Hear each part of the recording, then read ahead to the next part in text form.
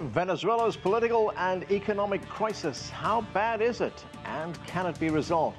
Hello, I'm Anand Naidoo, and this is The Heat.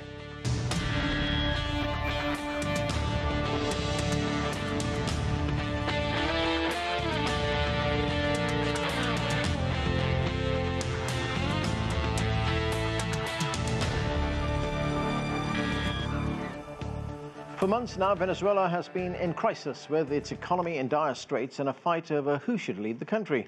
Millions are suffering without basic necessities like food and running water. Medical supplies are in short supply. Millions more have fled Venezuela trying to escape a humanitarian disaster. President Nicolas Maduro continues to hold on to power despite the impact of hard-hitting U.S. sanctions. He visited Moscow recently for a meeting with Russian President Vladimir Putin. Well, there is much to discuss, and joining us now from Caracas is Temir Porras. He is a former chief of staff for Nicolas Maduro before Nicolas Maduro became president. With us too from Boston is Miguel Angel Santos. He is an adjunct lecturer at the Kennedy School of Government at Harvard University. Joining us from Rhode Island is Vladimir Golstein. He is chair of the Department of Slavic Studies at Brown University. And with me right here in the studio is Lester Munson. He is principal at BGR Group, a government and international relations consultancy firm. Welcome to all of you to the show. Uh, Temir Porras, let me start with you in Caracas. Uh, Venezuela is facing pretty crushing sanctions uh, imposed by the United States. What kind of impact are these sanctions having on the economy and on the lives of ordinary Venezuelans? Well, the, the impact of sanctions is very broad. That goes from uh, the oil industry. You know, Venezuela is an oil uh, and has been historically an oil-producing country, uh, which historically also has exported more most of its oil of its oil, sorry, to the United States. Um, the fact that since January 2019, PDVSA, the uh, national oil company, has been sanctioned by the Trump administration, for instance, prevents any U.S. entity, any U.S. company from engaging in business with PDVSA. That means that PDVSA cannot either uh, sell oil to any U.S. company, but it can also not purchase spare parts, uh, gasoline, uh, solvents, you know, any sort of um, supplies that you know make for uh, PDVSA's day-to-day operations. And as Venezuela is heavily reliant on oil, um, oil exports historically again make for 95% of uh, Venezuela's foreign currency uh, revenue, hard currency revenue. Uh, the impact is very, very direct. But it, you were telling me about the day-to-day life. You, it, it, can go, you know, from oil industry to, um, you know, the, a few days ago, Venezuelan users of Adobe Photoshop, for instance, accounts were canceled uh, by the company in, in, a, in a clear case of over-compliance uh, from a U.S. company that is simply scared of doing any business with Venezuelan citizens. This has nothing to do uh, with the Venezuelan government, for instance, but still, a U.S. company uh, basically shut down all Venezuelan uh, users of its of its uh, of its software. Uh, and again, I mean, you can you can you can name any single aspect of Venezuelan economic life. Uh, these sanctions are making uh, the, the, country's economic life even more difficult. I mean, right. one can recognize that Venezuela's economy was already in, in dire straits, but uh, this is making it even harder. And Temir, what about the availability of things like food and water and other basic necessities? Yeah, again, I mean, um, Venezuela uh, depends as any other economy from foreign supplies. Uh, running water, for instance, of course, water does not come from from uh, abroad, but all the you know water systems uh, and the the uh, um, supplies necessary to maintain uh, Venezuela's running water system are, are also affected by by not only the lack of revenue created again by, by the sanctions, but yes. also by the inability of any entity from the state to purchase these uh, these supplies from U.S. companies. And again, the effect of over-compliance makes Venezuela is, is a Western country. So it is related historically to the United States, to the European Union, to the Western um, hemisphere and, and, and Western companies. So once you are uh, under sanctions by the Treasury of the United States, most of the companies become uh, frightened, afraid of doing any sort of business uh, with Venezuelan entities, persons, etc., because right. they cannot uh, be sure that the, uh, their counterparts are not under the uh, effect of sanctions. All right, let's go to Miguel uh, Angel Santos. Miguel, uh, the goal of these sanctions, of course, is to force President Maduro to step down. But there are some who see this as economic warfare. There are critics of these sanctions who say that it is designed to collectively punish the Venezuelan people. Uh, should the opposition be supporting sanctions? Well, let me tell you before that the, the only war, that has been waged uh, with the Venezuelan people was waged by the regime of Maduro and Hugo Chavez themselves. I will tell you, before sanctions kicked in in 2016, imports of medicines reported by Venezuela's international partners of trade had fallen 81%. Imports of food between 2012 and 2016, when we didn't have any sanctions, had fallen 84%. Imports per capita had fallen 85%. So the bulk of the war and the suffering of the Venezuelan people has been waged by a regime that is willing to punish its people just to remain in power forever. So that's the background against we have to think about sanctions. So assuming that relieving the sanctions will help the Venezuelan people assumes that the extra money that the Maduro regime captures is going to go to imports of food and medicine.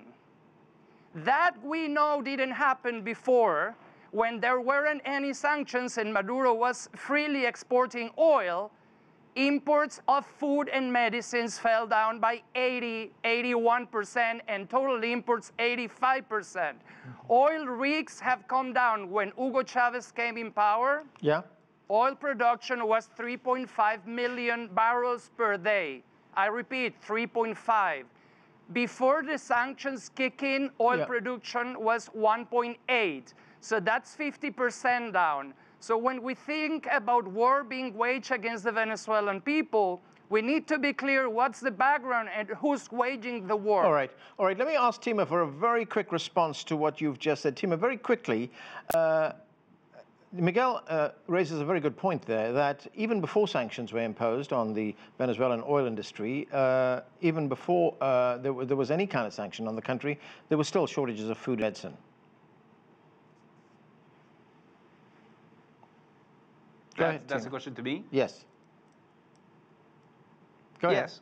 Well, I mean, uh, the question the question is the effect of the sanctions. Mm-hmm. I mean, if you want to make a historic account or uh, what what our evaluation is of the Maduro government's uh, economic policy, we yeah. can spend half an hour on it. We can also criticize Mr. Uh, President Chavez's uh, ruling, but the, the fact is that if if you want to agree with what Miguel uh, Miguel Angel says, the fact is that the sanctions do not help. So the, the uh, I mean, if the point, the point is, what do the sanctions do to Venezuelan people? They make the situation worse. Right. And the political justification for the sanctions is that they will generate regime change. That's the optics yeah. of the U.S. administration. And the fact is that they do not generate it. So okay. if they do not generate regime change and they and they cripple the Venezuelan economy, economy further, yeah. uh, again, it's a very different case to defend. And that's, I, I think, the reason why he's speaking about the past and not about the sanctions in All themselves. All right. Uh, Lester, President Maduro has been very critical of President Trump. Uh, let's listen to part of what he had to say recently. Trump despises Latin America, the Caribbean, the whole world, because he is a supremacist. He believes himself superior to others, and above all to Latin America and the Caribbean. So Timmy just raised an important point there about the United States' interest or interference, if you could call it that, in Venezuela. This is about regime change. Right. Um, and the United States has a bit of a history in South America of doing this. What's the end game here for the U.S.? Well, I don't I don't actually believe the Trump administration is interested in regime change. What they're interested in is seeing the legitimate ruler, who is Juan Guaido, assume power in Venezuela. He's the head of the Popular Assembly there. He is rightfully the head of state in, in Venezuela. He's the one who should be controlling the levers of governmental power, not Nicolas Maduro. So I think what the what the Trump administration is doing uh, is actually supporting the Venezuelan people and their decisions politically about who should lead them. Uh, Vladimir Golstein, do you see it that way as well, that what the Trump administration is doing is basically supporting the legal, what he believes to be the legal process in Venezuela, and uh, that Juan Guaido should be the leader? Of course not. This is a typical rhetoric which we keep on hearing from Washington, uh, you know, for the last 20, 30 years, you know, that every time they, they are helping or legitimately elected government. We saw it happening in Ukraine in 2014. It's happening all over Middle East. And that's, that's becomes really tiresome. So what, what we have to be aware that, you know, uh, uh, countries develop in their own way. Some are more successful, some are less successful. We can talk, as you, your guests say, about, you know, rather not successful mo uh, uh, model of Venezuela, but let them themselves figure it out. United States should stop throwing its weight around, uh, should, should stop, you know, introducing blockade every time they feel like doing it, or any country they feel like doing it. And uh, the, the, main reason for that is the world is changing. The world is changing. Now we have different players. We have uh, Russia, we have China, we have India, we have Turkey, and they are willing to step in and trade with Venezuela, and they are willing to insist on a multi-polar world, which basically have certain respect for other countries. You know, ever since Westphalian uh, um, peace in Europe in 17th century, there was a kind of uh, uh, admission that let countries develop their own way. If they want to be Catholics, let them be Catholics. They want to be Protestant, let them be Protestant. The same thing here. If you know Venezuela wants to develop along the Chavez model, let them do that. Let, let, let America and other countries help them to do that. Let, let's do the best we can rather than introducing some kind of uh, person who is not uh, uh recognized by majority of Venezuelans. It's not recognized by majority of the countries except you know, certain countries which follow United States leads. Uh, we know that a lot of poor people in yeah. Venezuela su support Maduro, army supports Maduro, and uh, it's, it, this is kind of rather kind of futile attempt as we keep on seeing it. You buy that, Lester? Not even a little bit. Uh, the countries that support Guaido are democracies. Uh, they're countries in the region. They're countries in Europe and around the world. Right. More than 50 countries have recognized the legitimacy of his government. Uh, Maduro is holding on to power using any means he possibly can, including oppressing his own people, supporting rebel groups in his neighboring countries. Just look at the number of uh, Venezuelans who have fled as refugees. It's 10% of the population. It's a real tragedy that's going on in that yeah, country. Yeah, but you know, talking about the recognition uh, issue, there are more countries, in fact, about 140 countries, that recognize the government and support the government of President Maduro. But the number of, of governments that are recognizing uh, Juan Guaido's government is increasing all the time, and the number that are recognizing Maduro is going down. Right. There's a definite trend. Okay, uh, Temir Porras, something else, and that is a report produced by Human Rights Watch. This report was produced last year, but it pointed to human rights abuses in Venezuela, widespread corruption, and an assault on, on government institutions. Is the government addressing that in any way? Well, currently the situation in the country is, is extremely bad. Um, and, and, corruption, I mean, the, the, uh, the case of corruption here in, the, in, in Venezuela is, is again, a, a very, very serious one. Um, I, I, cannot say that the uh, Maduro administration has made any efforts, you know, to, uh, to uh, tackle that problem. But what I have always said to my international, different international institutions and international interlocutors is that the more Venezuela is isolated, the more it is disconnected from the, I would say, the um, normal financial circuits, Uh, for instance, the normal ways of uh, using uh, channels of payment and, and, and trade with the rest of the world, the more uh, business in Venezuela becomes shady. Um, when, when the government tries to um, uh, basically overcome the sanctions, it starts using um, you know, companies and, and, and counterparts in, in countries of the world where um, regulations are more loose. Uh, you start having, you know, gold trades uh, being produced uh, between the government of Venezuela and Middle Eastern companies. Uh, the, the development of, of cash uh, operations has increased mm. because the Venezuelans cannot use the banking system. And again, the, the sanctions, if we come back to that point, yeah. do not contribute, you know, to the uh, to the improvement of transparency in the country. So the more Venezuela will be isolated, the more difficult it will be for its people or the international community to hold Venezuelans accountable for, for corruption. Right. Miguel, as someone who supports change in Venezuela, uh, doesn't Temir have a good point there that if you want change, uh, it's not a really good idea to isolate the country? Well, it, it depends. I mean, sanctions are a strategy and are a new strategy. By the way, the focus always falls into the United States, but sanctions have also been enacted by European Union countries. Now, let, us be just honest. Uh, there have been two chances this year that have been attempts at possible transitions. Was, one was a military attempt to restore the constitutional order in Venezuela on April the 30th, and a second one is a frustrated dialogue initiated by Norway that then move on to Barbados and then move on to no, nowhere. Do you know what was the sole request of the government of Nicolas Maduro at the negotiating table in Norway that the Venezuelan opposition lobbies other countries to lift the sanctions. So they were sitting there unwilling to concede anything that will potentially or remotely threaten their eternal permanence in power just because they have the sanctions.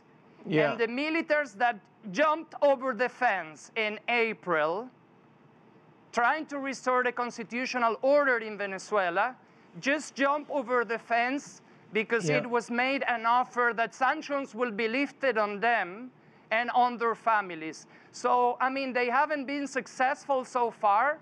The Venezuelan opposition has tried everything else, yeah. including many dialogue process and elections.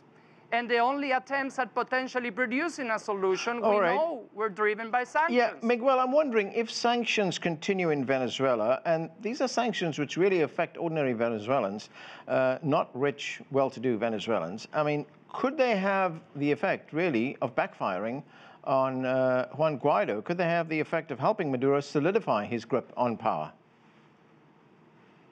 I mean, Maduro has his grip on power thanks to the militaries. And that grip will not increase or deteriorate uh, because of sanctions. It's a whole different logic that is sustaining him in power. Now, if sanctions do not lead to a political change, it will deteriorate the conditions in Venezuela. Mm. But I'm just saying that when you assess that deterioration, you need to think what's the counterfactual? What would have happened in the absence of sanctions? Yeah. And we know what happened in the absence of, of sanctions already. We know where was Venezuela headed in terms of poverty, starvation, humanitarian yeah. crisis. So sanctions will deteriorate the conditions. But the counterfactual to that is not a perfect world where Maduro deliver all the social services yeah. that Chavismo hasn't managed to deliver for a decade. All right, uh, Vladimir Golstein, uh, President Maduro has just been in Moscow. He's been holding talks with President Putin. Uh, one of the things they discussed was renegotiating the terms of the loan, the two large loans that Russia has made to Venezuela. Uh, they met, and this is what President Putin had to say after their meeting. Let's uh, listen. You know that Russia supports all legitimate bodies of power in Venezuela, including the president and the parliament. No doubt we support the dialogue that you, Mr. President, and your government are having with the opposition forces. So, Vladimir, when President Putin talks about the dialogue that President Maduro is having, what is he referring to? And can Russia really play any role? It has a lot of influence with uh, President Maduro. Can it play any role in resolving this crisis? Well, you know, Russians, uh, Russian position, they keep on reiterating it, be it uh, Vladimir Putin or Medvedev, their prime minister, is that there should be a dialogue. It should be within the country without any external forces interfering. And they uh, should somehow kind of work, work together, and maybe international community should help them, but they should figure things out themselves.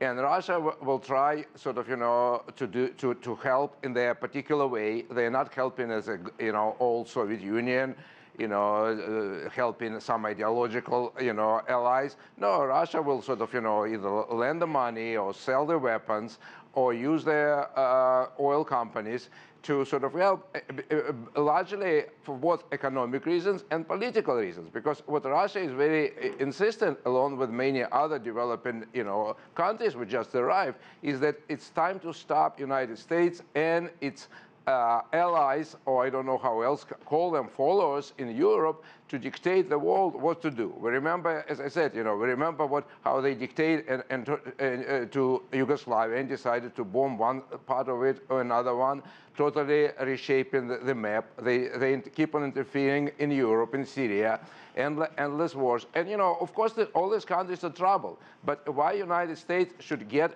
you know, uh, first, of, and they don't show any way of knowing how to solve it. Did we solve anything in Libya? Did we solve anything in, uh, you know, Syria or Iraq? No. So uh, Venezuelan people are absolutely justifiably suspicious of Guaido, who studied in, in Washington, who, uh, you know, is seen on the pictures with uh, Colombia nar narco dealers uh, trying to get their help in, in invasion. So they are justifiably suspicious. All right. In, they'll be inside dialogue, and that's what uh, Russians are insisting, just trying to send the message that it should be done internally, not externally. Okay. Uh, Lester, what is the U.S. position on dialogue, on some kind of diplomatic negotiated solution to this? Well, i am sure the United States would support a legitimate uh, dialogue between uh, Maduro and Guaido that led to the legitimate government of Guaido assuming the powers in Venezuela in a way that's good for the Venezuelan yeah, people. But what if it takes away that precondition and say, look, we'll deal with the situation that we have right now? Well, I don't, I don't think that's a, le a legitimate thing to do. The, yeah. the, people of Venezuela's view should be respected. Guaido is the fairly elected head of the assembly. He did not start in Washington. He's a Venezuelan. He's gone on hunger strikes for his beliefs in human rights and democracy. He's suffered uh, in riots and um, been shot at. This is a genuine leader of the Venezuelan people, and I think the international community more and more is supporting him, particularly democracies. The, the countries that are listed supporting Maduro are not democracies. They don't want to see anyone interfere in their internal affairs either because democracy in their country, like in Russia, would be very bad for Putin. He's the kind of guy who uh, likes to assassinate or imprison his political, the people who disagree with him politically.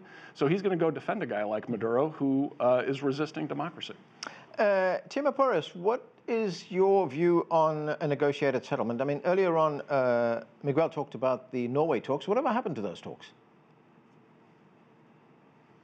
Well, I, I am a strong supporter of the negotiated settlement because I think it's the only solution. Um, uh, those who believe that this conflict will, will lead to one of the two sides prevailing, whether you're a supporter of the Maduro government or of the uh, coalition behind Guaido, are wrong.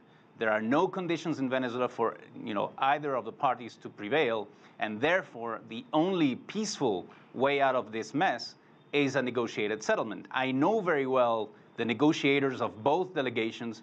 The, the, by the way, the negotiations moved forward until the month of August, uh, and both delegations were recognizing they were making progress. There was a, a written document with uh, more than 50 points where the two delegations were agreeing uh, and moving forward. But then, yet again, on August the 5th, the US administration imposed a blocking order as secondary sanctions, if you will, which punish uh, even uh, third countries, citizens and entities from third countries, uh, which would engage in business with Venezuela, and that derailed the whole process.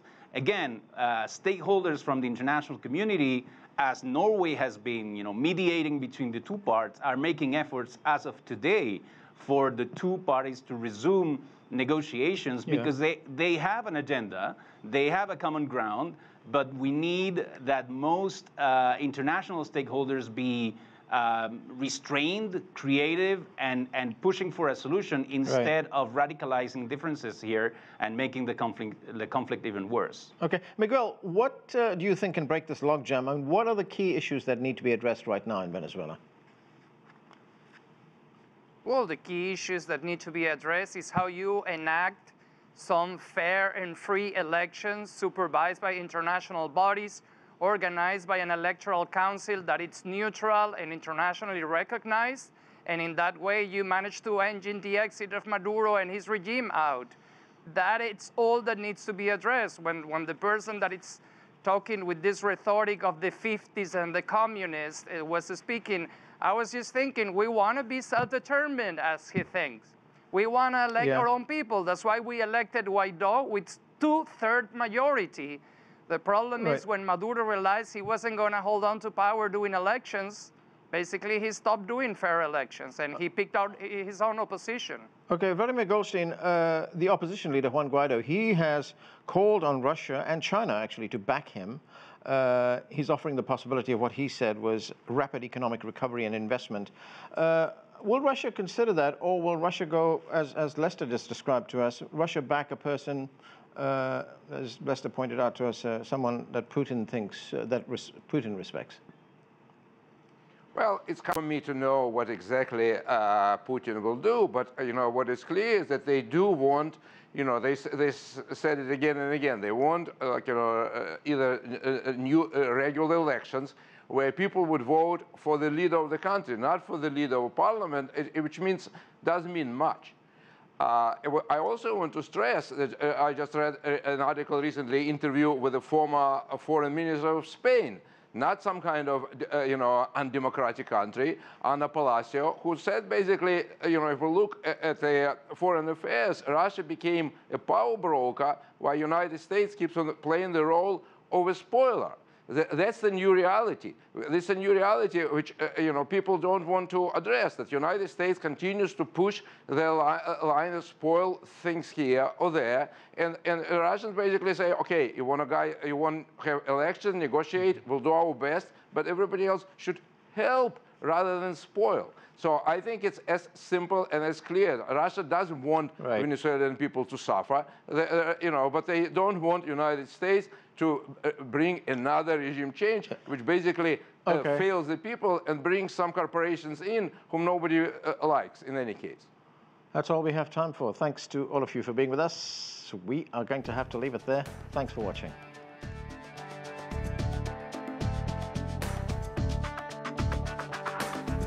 Hello everybody, I'm Anand Naidoo. If you enjoy the thoughtful, engaged discussions you see on The Heat, you may also want to subscribe to our podcast. It's appropriately titled The Heat. Twice a week, we take a deep dive on world headlines, talking to experts, journalists, and others. It's a fresh, focused, and intimate look at the issues that matter most. Whether it's the Hong Kong riots, the latest Middle East conflict, or US politics, the Heat podcast gives the clear context needed to understand both what's going on and why. And what's best, we come to you. Whether you're at home or on the go, you can find the Heat podcast just about anywhere podcasts are found. Just search the Heat CGTN. Have a listen today and subscribe. Thanks.